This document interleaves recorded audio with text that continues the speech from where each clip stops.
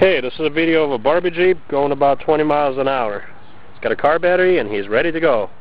One, two, three, go.